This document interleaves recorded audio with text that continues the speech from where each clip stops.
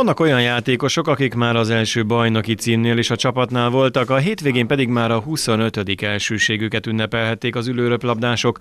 Nem véletlenül mondták azt a díjátadáskor, hogy a Nyíregyházi Gárda Magyarország örökös bajnoka. A csapat minden meccsét megnyerte, és mindössze egy játszmát veszített.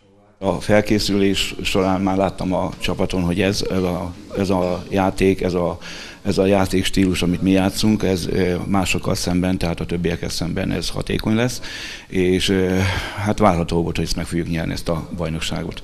A csapatban fogyatékkal élők és egészségesek egyaránt szerepelnek. A mozgássérültek számára a sport nagy segítséget jelent mind a hétköznapi élet, mind lelki szempontból.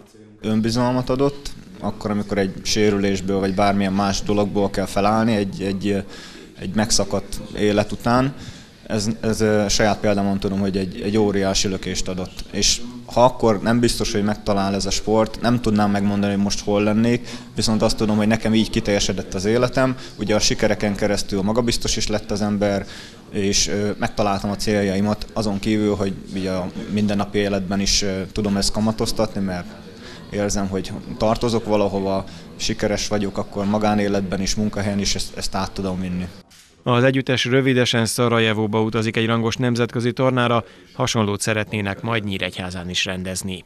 Akkor lennék úgy igazán elégedett, hogyha valamikor az Európai Röplabda Szövetség lehetőséget biztosítani arra, hogy Nyíregyháza, ha már ennyi bajnoki címet szerzett, ha már ilyen röplabda kultúra van ebben a városban, ha már van egy ilyen sportcsarnokunk, akkor megrendezhessük a bajnokok ligáját, hiszen ez lenne az igazi.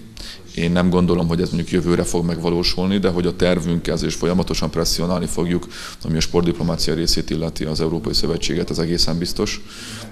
És hát azt hiszem, hogy akkor megint egy olyan rendezvényt hozhatnánk Nyíregyházára, ami még nem volt, hiszen mikor volt itt bajnokok ligája. Ismét megrendezik a Városi Stadionban a szépkorúak olimpiáját. Az alábbi sportágakban lehet előzetesen nevezni teke, kosárlabda büntetődobás, asztali tenisz, atlétika, kislabdadobás, teniszpáros és játékos ügyességi sorverseny. Nagyon jó volt látni tavaly és azt a több mint 400 főt, akik kijöttek ide a Városi Stadionba. A polgármester úr eh, három évvel ezelőtt ígéretet tett arra, amikor az elsőt megrendeztük, hogy minden évben megrendezésre kerül majd ez a Szépkorúak Nyíregyház olimpiája. Ez most így lesz május 20-án is, és eh, várunk mindenkit nagyon nagy szeretettel. Nevezni a Városi Stadionban lehet előzetesen, már több mint 120 jelezték részvételi szándékukat.